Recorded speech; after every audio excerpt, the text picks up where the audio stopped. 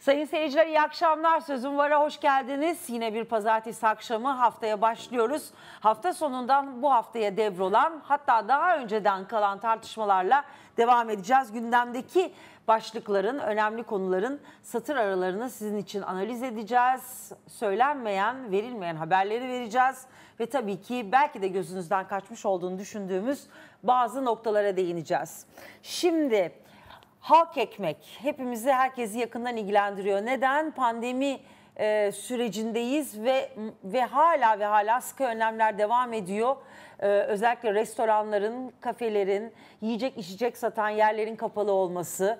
Yine aynı şekilde e, bazı şirketlerin, dükkanların kapalı olması her gün yeni işsizleri beraberinde getiriyor. Gerçekten e, özellikle servis sektöründe çalışanların derdi çok büyük. Arada tabii işini kaybedenler var, çalışamayanlar var. Zaten işsizlik büyük bir problemdi. Daha da kabaracak gibi görünüyor. İşte bütün bu meseleleri konuşarak başlayalım. İlk önce dedik Emin Çapa. Yine her zaman olduğu gibi tabii ki birlikte hazırladık. İyi Emin iyi akşamlar akşamlar. herkese. Birazdan Kadri Gürsel bizimle birlikte olacak. Ee, yine Kadri Gürsel'le birlikte hazırladık. Şimdi Canan Kaftancıoğlu birazdan e, konuğumuz olacak. Cumhuriyet Halk Partisi İstanbul İl Başkanı. Ama öncesinde bu Cumhurbaşkanı'nın e, kürsülerden çıkıp canım bu halk ekmek halk, halk ekmeğin önündeki kuyruklar öyle rastgele çekilen fotoğraflar aslında e, gerçeği yansıtmıyor açıklaması tabii ki gündemde e, yerini buldu. Gerçekten öyle mi? Emin bize anlatsın. Emin Cumhurbaşkanı anladığımız kadarıyla ya danışmanları ya etrafındakiler ona pek fazla bilgi vermiyorlar ama gerçekten bir yoksulluk, artan yoksulluk, artan fiyatlar ve kaybeden, işini kaybeden yüzlerce, milyonlarca insan var. Evet. Ya rastgele mi çekiliyor bu fotoğraflar? Öyle bir şey olabilir mi? E, Mümkün değil. Ee, bir e, grafiğimiz e, var. Hatta gösterecek arkadaşlar birazdan. 600-700 evet. binlerde normal zamanlarda e, şeyimiz e, bizim e, halk ekmeği yani satışları İstanbul'da Halk ekmek e, kuyruğunu da bir görebilseydik aslında o çarpıcı evet. fotoğrafla ben girmek istiyordum yayına. Belki ona da verirsek çok şahane olur. Sen de onun üzerine anlatırsın. Evet. evet. E, günde 600-700 bin ekmek e, satarken e, halk ekmek 2018 o krizin bizi ilk sert vurduğu yer 990 binlere geliyor. E, geçen sene e, 2019'da pardon 842 binlere geliyor. 2020'de 1 milyonu geçiyor. Şu anda 1 milyon 200 bin ekmek satıyor halk ekmek Ocak ayı itibariyle. O grafiği de günde, görelim lütfen. Şimdi e, görüntüleri gördüğümüze göre bir de grafiğimizi görelim. Grafiğimiz var. Emin'in bahsettiği grafik evet. Bu e, kuyruklar kesinlikle böyle rastgele kuyruklar değil. Bunlar her yerde.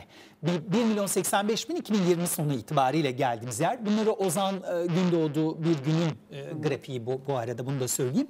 Ama ben e, bugün öğrendim ki e, 1 milyon 200 bine gelmiş Ocak ayı itibariyle günlük ekmek satışı. Ve daha e, ilgincini de hemen söyleyeyim.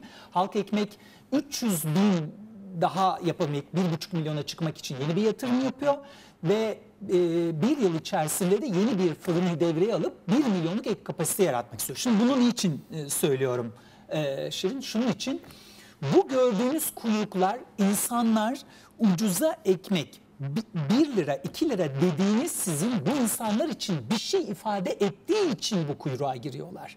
Yani 1 liraya daha ucuza ekmek almak bu insanlar için anlamlı bir şey olmasaydı bu insanlar o kuyrukta yarım saat beklemezlerdi. Bu insanlar kuyrukta bekliyorlar çünkü onlar için bir lira e, daha ucuza ekmek almak bir şey ifade ediyor. Hemen izninle bir iki sayı verebilir miyim? Tabii. Ee, hükümetimiz biliyorsun e, insanlara 700 küsürlere bir yardım yaptı aile başına. O yardım günde biliyor musun aile başına yapılan yardım ne kadar 2 e, lira 10 kuruş. Aile başına devletin verdiği yardım 2 lira 10 e, kuruş. Türkiye'de 10 kişiden 7'si borçla yaşıyor. Ev hariç borçtan bahsediyoruz bu arada. Ev kredisini biz borçtan e, saymıyoruz. O bir yatırım olarak görülüyor çünkü. E, ev kredisi hariç 10 kişiden 7'si borçla yaşıyor. Yani bu kuyruklar öyle e, boş e, kuyruklar e, değiller. E, Senin sesinde bir problem olmuş galiba. Söylediklerin birçoğu anlaşılmadı. Ee, tekrardan o yüzden vurgulaman gerekirse belki. Tamam.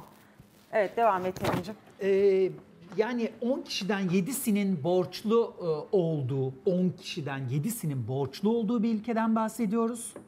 Ee, devletin yaptığı yardımın günde 2 lira 10 kuruş olduğu bir ülkeden bahsediyoruz. Aile başına e, bu arada.